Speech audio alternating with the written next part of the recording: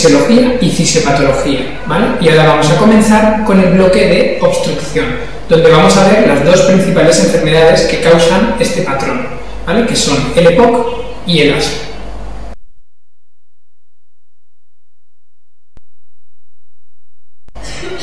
El EPOC, enfermedad pulmonar obstructiva crónica, es una limitación crónica al flujo aéreo, ¿vale? que generalmente es progresiva y es irreversible. Puede afectarse, o sea, puede tener cierto grado de hiperreactividad, ¿vale? pero esto no es lo definitorio ni mucho menos. Lo importante es que es progresiva e irreversible. ¿vale? Esos son los dos aspectos fundamentales.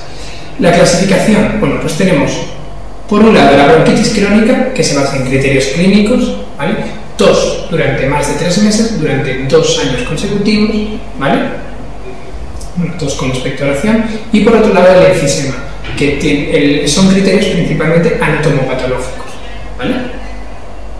Entonces, eh, con respecto a los factores de riesgo del EPOC, tenemos el tabaco como principal factor de riesgo.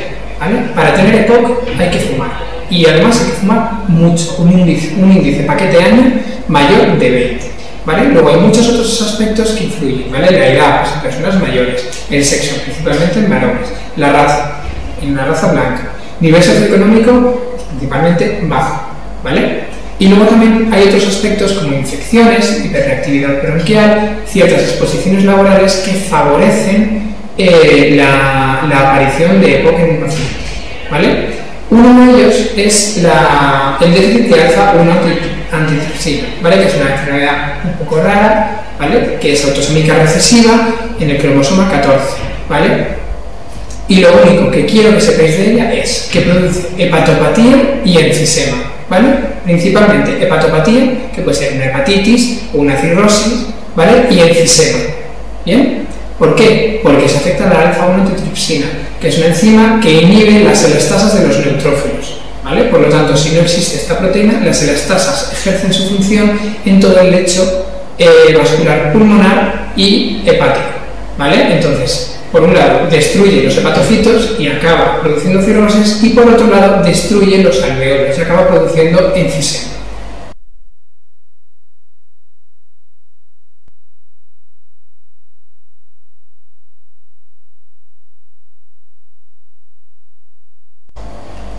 La anatomía patológica de estas dos enfermedades no es lo más importante, pero es bastante sencillo. Lo importante de la bronquitis crónica es que hay una desestructuración por fibrosis, por proliferación vascular, proliferación muscular y por hipertrofia e hiperplasia de las glándulas mucosas. ¿vale? En el enfisema, lo más importante es distinguir los diferentes tipos de, enfisema que hay. Por razón panacinal, ¿vale? que afecta a todo el lobulillo. ¿vale?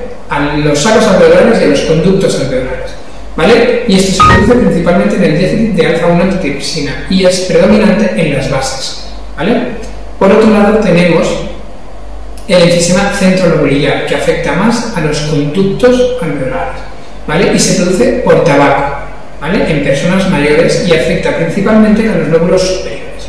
Luego hay un tercer tipo de enfisema, que sería el enfisema distal, que es el que produce las buidas pleurales en los campos superiores de pacientes jóvenes, el asociado al neumotórax recidivante, al neumotórax espontáneo de, de los varones jóvenes, altos, fumadores, etc.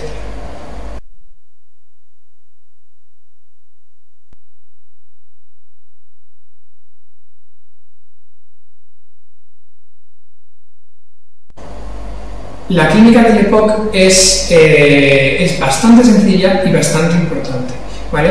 Porque según el paciente que nos vaya a proponer en el caso clínico, tendremos un enfisematoso o un bronquítico, ¿vale?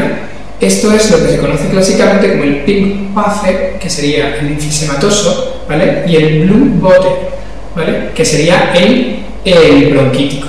¿Vale? Entonces, el enfisematoso es un paciente bastante mayor donde predomina la disnea, ¿vale? Y por lo tanto son pacientes muy delgados, ¿vale? Porque tienen mucho esfuerzo, eh, mucho esfuerzo inspiratorio, ¿vale?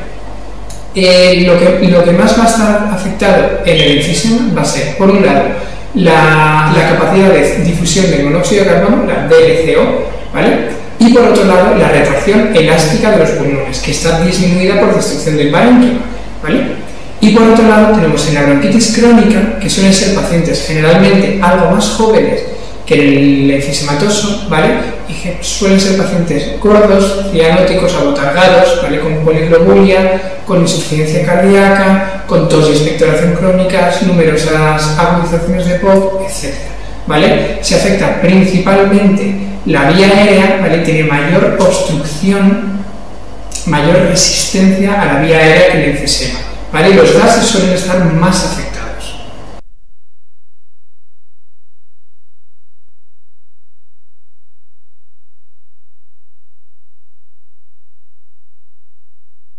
Con respecto a esto, podemos hacer la pregunta 23 del test de segunda vuelta. Uno de los siguientes datos es más frecuente en los pacientes con predominio de enfisema con relación a los de predominio de bronquitis crónica. 1. Rombus a la auscultación pulmonar. Eso significa moco, ¿vale? y el moco predomina en la bronquitis crónica. Segundo, hematocrito en nivel normal. Hemos dicho antes que la bronquitis crónica va acompañada frecuentemente de poliglobulia, por lo tanto, el hematocrito estaría alto en la bronquitis y normal en el enfisema. ¿vale? Por lo tanto, esta es la respuesta verdadera. En tercer lugar, frecuentes descompensaciones infecciosas. El moco se infecta y por lo tanto predomina en la bronquitis crónica. ¿vale? Cuarto, hipercambio. Como habíamos dicho, eh, las alteraciones de los gases son más predominantes en la bronquitis crónica. ¿vale? Y cinco, edemas en extremidades inferiores. Bueno, pues eso se debe al coro pulmonar, ¿vale? que es secundario a la hipertensión pulmonar, que es más frecuente en la bronquitis crónica y además aparece antes que en el enfisema.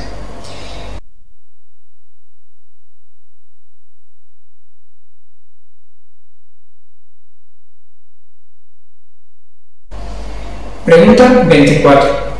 Uno de estos parámetros suele ser normal en los pacientes EPOC, en los que predomina la bronquitis crónica.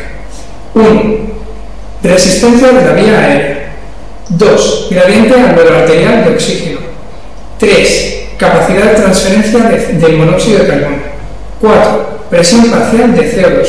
5. Capacidad vital forzada. Bueno, pues es la 3. ¿Vale? La capacidad de transferencia del CO generalmente es normal en la bronquitis crónica. Donde está afectado característicamente es en el enfisema. ¿Vale? Vemos que la 5 es cierta. ¿Vale? Porque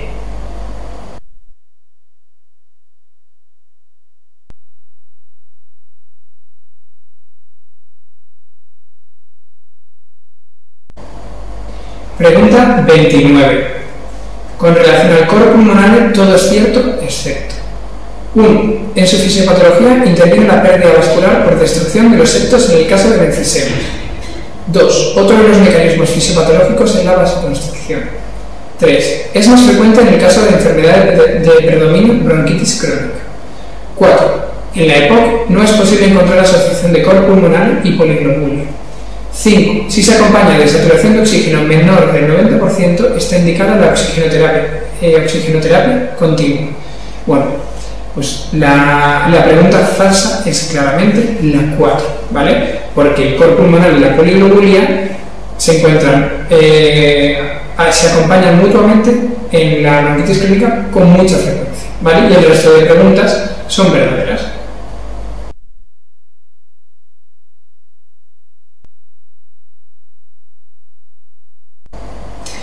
El tratamiento del EPOC se basa en una serie de puntos escalonados, ¿vale? que según la clasificación eh, del paciente en un nivel de gravedad u otro, ¿vale? habrá que, y en los síntomas que tenga, habrá que eh, colocarle en un escalón de tratamiento. ¿Vale? Entonces, todos los pacientes deben abandonar el tabaco, todos. ¿Vale? Deben evitar la exposición a irritantes y deben vacunarse de la gripe y, a ser posible, del neumococo. ¿Vale? Luego hay otra serie de medidas generales que no están del todo claras, como por ejemplo la fisioterapia respiratoria, eh, los mucolíticos, los expectorantes, etc. ¿Vale? Pero lo que está claro es que todos deben dejar de fumar. ¿Vale? Es la medida más importante, ¿vale? Bien, en segundo lugar, cuando aparecen síntomas intermitentes, lo lógico sería pautar un beta-2 agonista a demanda, es decir, cuando aparecen esos síntomas, el paciente utiliza el inhalador y se le quita, acuerdo? Cuando estos síntomas se hacen continuos, hay que introducir un anticolinérgico, ¿vale? Bromuro de hiperatropio o bromuro de tiotropio, ¿vale? Que tiene una vida media mayor. Entonces, si con esto se controlan los síntomas, sería suficiente. Si no, habría que asociar un beta-2 agonista de acción larga, ¿vale? Y teofilina en algunos casos, ¿vale? Si un paciente cumple dos de tres criterios de Winnipeg, se dice que eh, estamos ante una agudización de EPOC, ¿vale? generalmente infecciosa. ¿Vale? Estos, criterios son aumento de la disnea, aumento del esputo y aumento de la condulencia del esputo. Si tenemos dos de estos tres factores, podemos considerar que el paciente está infectado ¿vale? y sería indicación de tratamiento antibiótico. En primer lugar, con amoxicilina clavulánica, ¿vale? y así cubrimos el neumococo, el hemófilos influenza y la moraxella, ¿vale? que son los principales eh, microorganismos eh, implicados en las realizaciones del EPOC. ¿Vale? En caso de, que un paciente haya recibido más de cuatro ciclos de antibióticos y siga teniendo agudizaciones, hay que dar tratamiento con ciprofloxacino ¿vale? para cubrir una posible pseudomonas. ¿Bien? El siguiente escalón sería el tema de las agudizaciones. Cuando un paciente tiene más de tres agudizaciones al año, se dice que debería tener un tratamiento corticoideo de base. Es decir, en una agudización se suelen poner corticoides, pero en un máximo de 10 días. ¿Vale? Pero para poder poner a un paciente corticoides de base, necesitamos que haya tenido al menos tres episodios el año anterior. ¿vale? Entonces, con tres agudizaciones en un año, hay que instaurar tratamiento corticoideo de base. Eh, y luego ya llegamos a escalones bastante más importantes, que son un EPOC en estadio 4, ¿vale? situación estable, que no fuma, realiza bien el tratamiento y tiene una presión parcial de oxígeno menor de 55, ¿vale? es indicación de fisioterapia, perdón, de oxigenoterapia domiciliaria crónica. ¿vale? Que debe llevarlo al menos 16 horas al día, incluyendo las horas de sueño. Esto, junto con el abandono de tabaco, son los únicos factores que han conseguido disminuir la mortalidad en el EPOC. ¿vale? Por lo tanto, es muy importante. Y esta disminución de la mortalidad se achaca principalmente a una disminución de la hipertensión pulmonar. ¿vale? Bien.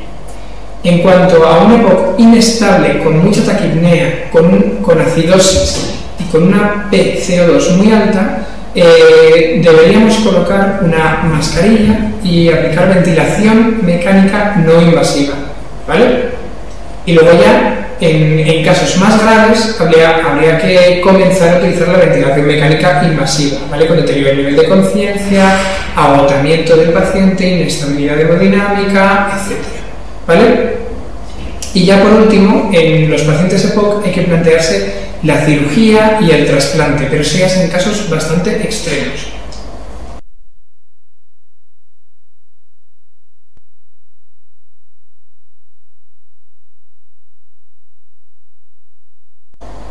Pregunta número 27. En relación a la oxigenoterapia crónica domiciliaria en la EPOC, todo es correcto, excepto 1. Está generalmente establecido un mínimo de 16 horas diarias para que cumpla sus funciones. 2 cuando la presión parcial de oxígeno es menor de 60 en situación basal y existe poliglobulia, está indicado. 3. No aumenta la esperanza de vida. 4. Es conveniente una evaluación de la indicación entre el primer y el tercer mes de la, instauración. Y 5. Mejora la hipertensión pulmonar. Bueno, la respuesta falsa es la 3, porque sí que aumenta la esperanza de vida, ¿vale? como hemos dicho antes. Y esto se debe principalmente a que mejora la hipertensión pulmonar. La pregunta 2 es bastante curiosa, ¿vale? Es bastante interesante. ¿Por qué? Porque hemos dicho antes que la indicación sería una presión parcial de oxígeno menor de 55. Pero hay algunos casos donde este nivel, el se pone en 60, Y es cuando existe hipertensión pulmonar, poliglobulia, eh, patología concomitante importante, insuficiencia cardíaca, etc. ¿vale? Y también cuando se produce eh, hipoxemia menor de 55 durante el sueño, aunque durante el día sea mayor de 60.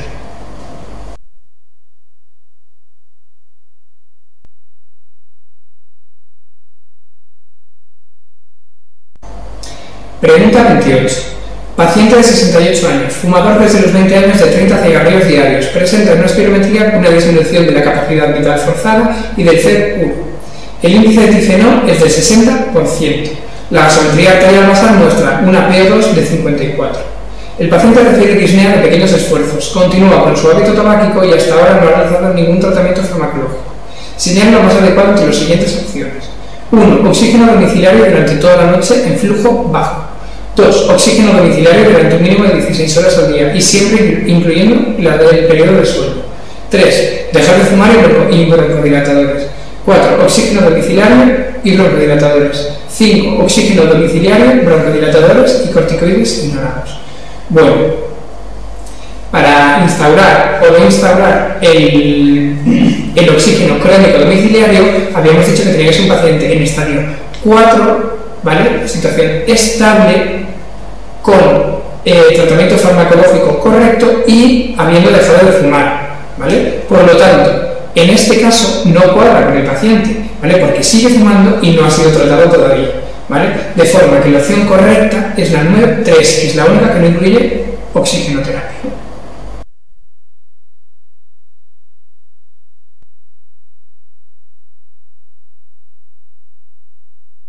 Vamos a hacer la pregunta número 31.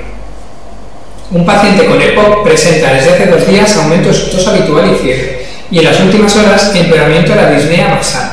Acude a urgencias y la gasometría arterial muestra pH de 7,29, PO2 de 50 y PCO2 de 60 y bicarbonato de 25. Entre las siguientes respuestas indique la falsa. 1. Probablemente el desencadenante sea una infección eso es verdad, ¿no? Es la causa más frecuente de una agudización de EPOC. ¿Vale? Segundo, la gasometría muestra acidosis respiratoria aguda. También es verdad, tenemos acidosis por el pH menor, o sea, por el pH de 7,29, ¿vale? Es respiratoria porque la CO2 está aumentada, ¿vale? Y es aguda porque no está compensada, ¿vale? El bicarbonato es normal, no está aumentado, que es lo, lo que debería pasar en una crónica, ¿vale? Eh, tercero, ¿es conveniente administrar antibióticos? Pues sí, ¿vale? Porque además eh, tiene empeoramiento de su tos habitual, fiebre y empeoramiento de su disnea, ¿vale? Cumple dos de los tres eh, criterios de Winnipeg, por lo tanto habría que instaurar tratamiento antibiótico. Cuatro, no está indicada la oxigenoterapia. Eso es cierto, ¿vale? Porque es un EPOC inestable en este momento, por lo tanto la oxigenoterapia no está indicada. Y cinco, es conveniente realizar una placa de toras. Bueno, pues eso es verdad, por si, si nos está colando algo, pues se tiene una neumonía, ¿vale?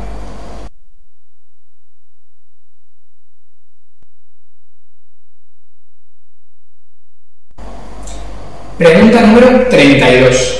Paciente de 62 años, fumador desde los 17 años, desde 70 paquetes años, con diagnóstico de POP desde hace 4 años. El índice de tifeno es del 58%.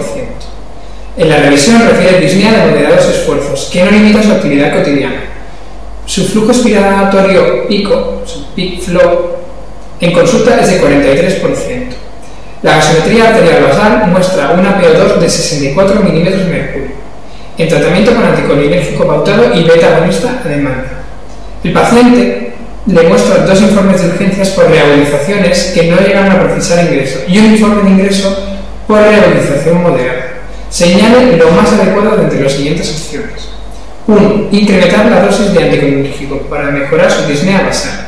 2. Indicar vacunación antineumocócica anual para reducir reagonizaciones. 3. Indicar corticoide lado para reducir reagonizaciones. 4. Indicar eh, oxígeno domiciliario por ser grave con reagonizaciones frecuentes. 5. Indicar beta de acción larga para reducir las reagonizaciones. Bueno, eh, aquí no te dicen qué es lo correcto lo que no es correcto, ¿vale? porque hay algunas otras opciones que podrían ser correctas, pero te pregunta cuál es la más adecuada. Y en este caso, la más adecuada en un paciente con realizaciones frecuentes es la corticoterapia de base. ¿vale? Por lo tanto, paciente que cumple dos de tres criterios de Winnipeg, antibiótico. ¿vale? Y paciente que tiene eh, frecuentes, corticoide.